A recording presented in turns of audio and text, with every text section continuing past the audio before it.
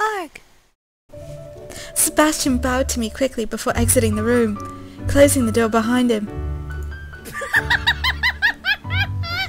As the sound... Shut up, Sophie! Shut up! Shut up, I can't read my lines!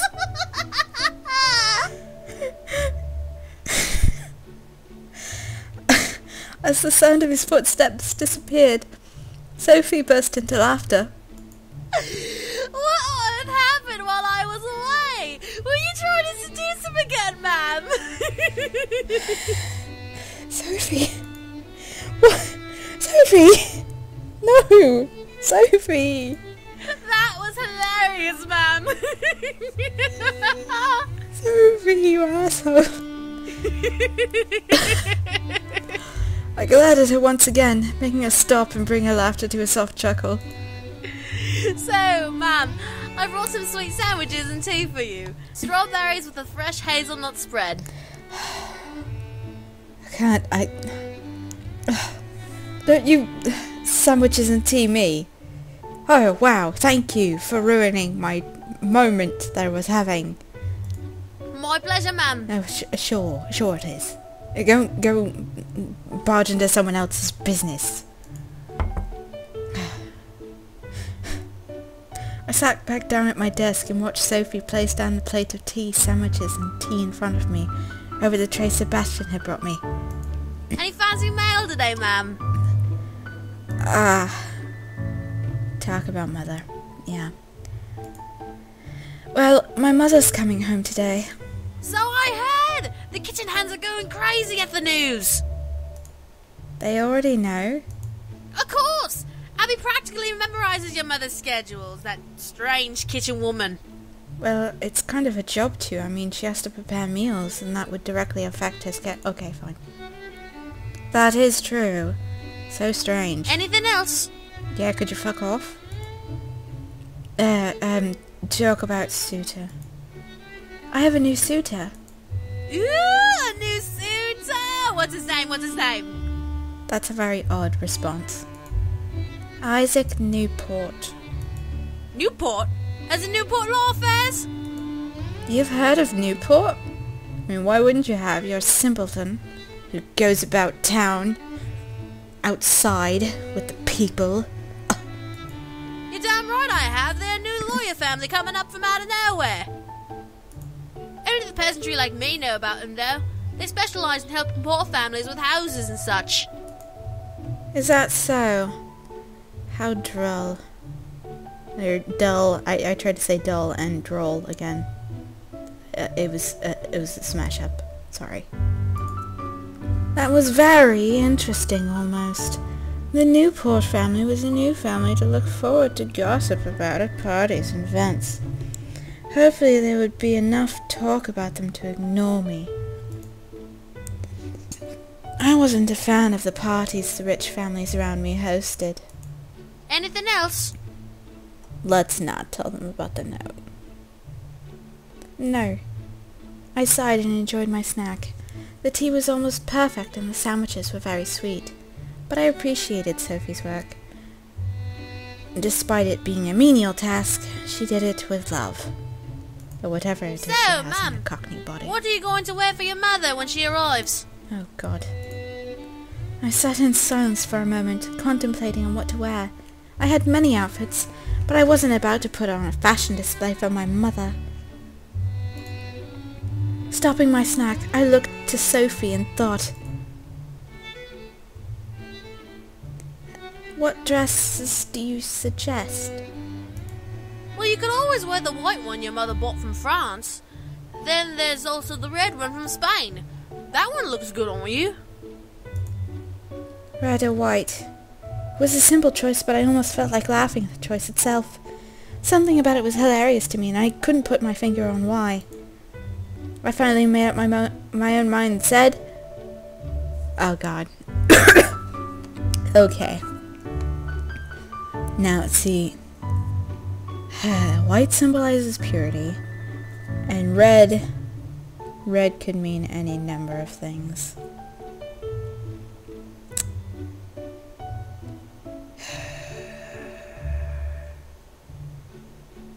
I'm, uh, I should go with a red dress. I don't know if Sebastian would like the red dress or the white dress. Obviously I'll look really, really good in the red dress. Like, cause it's Red's kind of a sexy color. I know, my boyfriend likes red on women too. So... Fuck it, I'm wearing the red dress. Ooh, very fun, ma'am. Won't your mother disapprove, though? She hates it when you wear red. Why the fuck would she buy me the gown, asshole? She hates it when you wear red. Oh no. Um... Why would she buy me the gown if I can't wear red? Why would she buy it for me if she doesn't like it? For fuck's sake. And it's from Spain, no less. She doesn't like it when I wear red. Uh, uh, no, I'm doing it. I'm doing it. I'm sure. Sophie nodded and got out my red dress from the closet. As long as you're sure, ma'am. Yeah, fuck you. Let's get you cleaned up, ma'am. Then we'll get this dress on you. Ugh. Getting into dresses was a tiring process. First I had to clean, using an unnecessarily large bath to wash in. Then I had to be dried, which required both me and Sophie to do it in a reasonable amount of time. After that I had to powder and put on my underclothes, which included a corset. Yeah, Sophie! You're trying to kill me! Just a little more, ma'am. Your mother would kill us both if we don't do this right. Corsets were a pain. Actually, I like corsets. I mean, I've never worn one, but it seems like it would be really nice. Your back would be perfectly straight and it would be kind of constrictive, but I don't know. Then we finally got to put the dress on. It was an e it was easy to slip on and it only took Sophie a minute to tie it up to fit me perfectly. I got another achievement. I don't know how I'm getting achievements right now. I stood in front of my large vanity mirror, checking out my dress. I smiled at my choice. It was a lovely dress with satin ruffles. I felt incredibly attractive in it, feeling the desire to flirt and mingle run through my thoughts. Sophie quickly found a red rose and tied it up into my hair. Well, maybe I have made a wrong decision. maybe. You look so pretty, ma'am. Men would fall to their knees for you. Thank you, Sophie. You're the best. Sophie smiled and bowed to me graciously. I turned back to the mirror and stared at myself a little longer, wondering what Sebastian would think of it. It was indeed eye-catching, and it made me feel incredible. the sound of horses made me quickly look away from the mirror to look at my window. I rushed over and looked out to see a large carriage stopping in front of the house. Who's that? I don't recognize the carriage. Oh fuck, please don't let it be Newport. I I don't either. Ah, uh, where the fuck is my water? Holy fuck. Hold on.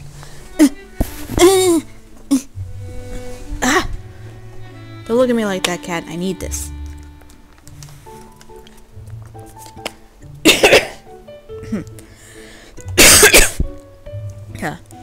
I stared at the carriage a while longer, unable to tear my eyes away. Who was visiting us, and today of all days?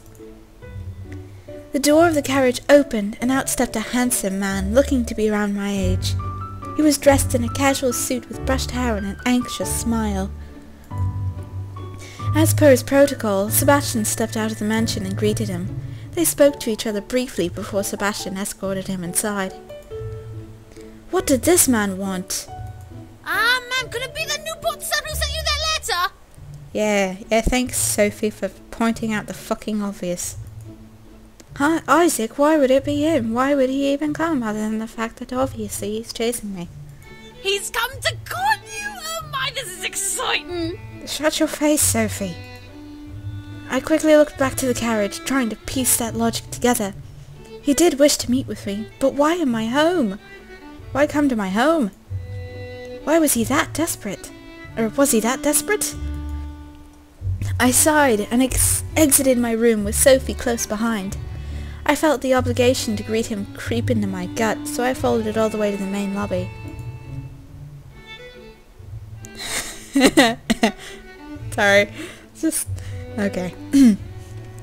I stepped into the lobby to see the man and Sebastian conversing to one another. At the sound of my footsteps, however, they stopped and looked at me. Sebastian seemed surprised at my outfit. Did he like it? I looked at him and gently tilted my head in confusion. he liked it. Oh my gosh. The directorial cue probably read, try to clear your throat sexily.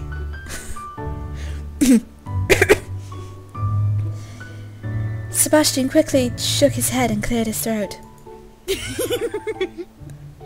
Sophie stifled another giggle. Mr. Newport, may I introduce the current lady of the house, Miss Beaumont. As I was introduced, I climbed down the steps of the granite staircase.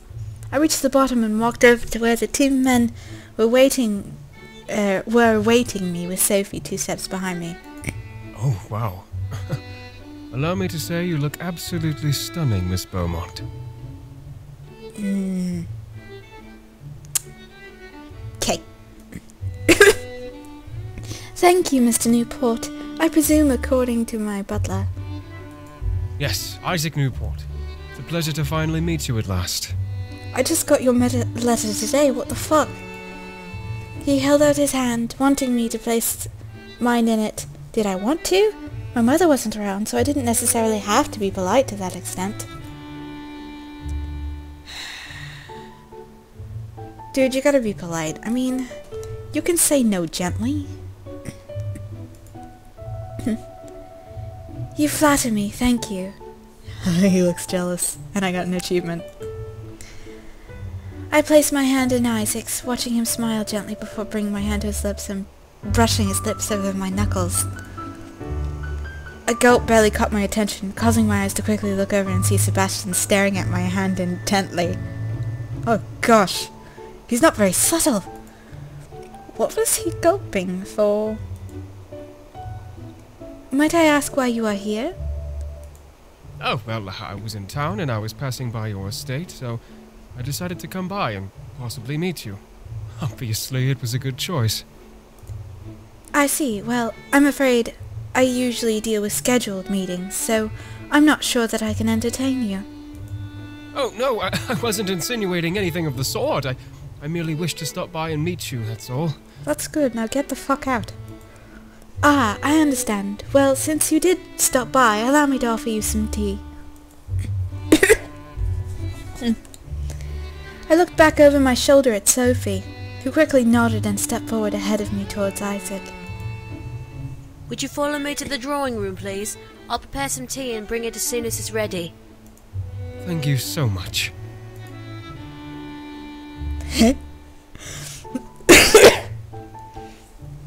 I bit my tongue, Sophie, which was really dumb because, I mean, that hurts. Ow. Ow. Okay. Sophie was definitely a great actress around guests. Sophie and Isaac walked away towards the drawing room, leaving Sebastian and me alone. I let out a sigh. Is something troubling you, my lady? No, I'm just surprised. Su- surprised. Mm, I'm flustered. if nothing else. no, I'm just surprised is all. Sebastian nodded, standing at the ready for any instruction I had. I looked in the direction of the drawing room and I bit my and bit my lip. I didn't want to sit in there with him, especially if my mother was coming home today. Who knows what she would think? Just my luck, however. I turned my head to the front door, hearing another set of horses. Sebastian, please check who has arrived. Yes, my lady. Sebastian quickly walked over and opened the door to see outside. Your mother has returned. I felt my heart stop. Was my luck just terrible today? Sebastian quickly exited the front doors to assist my mother out of a carriage. I stood, knowing that my mother would want me to be at the lobby waiting for her. I felt frozen, unsure of how to explain the second carriage to my mother, who was very quickly on... Ah, hmm, excuse me, I burped. Hmm. ah. Ah, okay. I felt frozen, unsure of how to explain the second carriage to my mother, who was very quickly on her way inside. It was a suitor, but I didn't want her to get the wrong idea. At last, my mother stepped into the lobby with Sebastian carrying our bags almost effortless, effortlessly behind her. Ah, there you are. Punctual as expected. My mother quickly stepped up to me and looked me up and down. I wanted to see how she would respond. I wore red instead of white, but I was 17, almost 18. I was old enough to make my own decisions. Why are you wearing the red dress? Because you bought it for me? To show respect? What the fuck? I grimaced. I wanted to wear a red dress, Mother. I should have you march back to your room and change. However, I don't have the patience to argue with you about this. I sighed silently. I was never going to please her. Now, can you explain to me why there's another carriage in the front? I had to be calm. She had to understand that I was not interested in his suitor, nor did I invite him. Isaac Newport wanted to visit today, Mother. He was in town and decided to stop by. And where is he? In the drawing room, Mother. I have no time for guests. I have much to do, and I won't have you entertaining guests without me. My mother turned her head to Sebastian. Escort him out. Yes, madam. Sebastian gently placed my mother's luggage down, away from the door, and quickly left for the drawing room. Now, have you been keeping up with your studies? Yes, Mother. Have you been practicing the piano? Yes, Mother. Perfecting your handwriting? Yes, Mother. Good. Then we can discuss. As she was about to finish her statement, Isaac and Sebastian entered the lobby, walking towards the exit.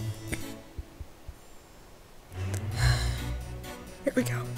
Isaac stopped and bowed to my mother. Hello, Lady Beaumont. It is a pleasure to meet you. It is a pleasure to meet you too, Mr. Newport. I'm afraid we have some business to attend to, so we cannot entertain you today. Feel free to stop by tomorrow. I understand perfectly, ma'am.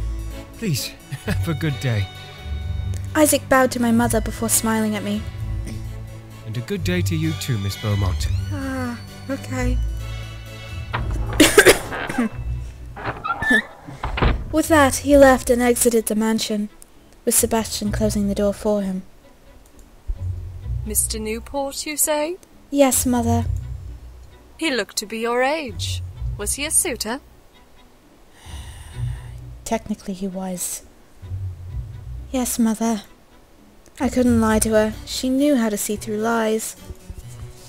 My mother stared at me in thought before walking past me towards the drawing room. I sighed and followed suit. we entered the drawing room drawn in MS paint, where Sophie was cleaning the tea Isaac was previously having. Leave the tea. Bring new cups. Yes, madame. Sophie quickly left the room with the used cup Isaac had, leaving me and my mother alone. My mother sat down, waiting for me to sit across from her in the empty seat. I quickly obeyed her silent command to do so, looking to her and setting it up as properly as I could. How old are you now? Seventeen, Mother. Seventeen and hmm. still unmarried. What am I to do with you? I bit my tongue. I knew better than to speak back to my mother when she looked talk like that. She had been hoping one day I would marry, but it was becoming futile. Anyways, I will be staying here for a couple of days to deal with some in-town business. I expect you to entertain Mr. Newport properly should he return. This goes for any suitor, understand? Yes, Mother. The dinner schedules will be upheld as I am here. If you are not at dinner during the scheduled time, you will not eat. Understand? Yes, Mother. Good. My mother was strict, but for a good reason. She wanted me to be a perfect lady, suitable for marriage and upholding a family. If I was a toe out of line, I would be lectured until I regretted ever disobeying. We drank tea, barely speaking to each other, before I was dismissed back to my room. I quickly stood, bowed, and left. Sophie followed behind, two steps away from me. As I entered my room, I slumped and let out a tired sigh. So Mother's here. Wonderful. She's made it through the country again. Oh, come now, ma'am, you should be happy. Yes, so very happy that my leech of a mother has returned.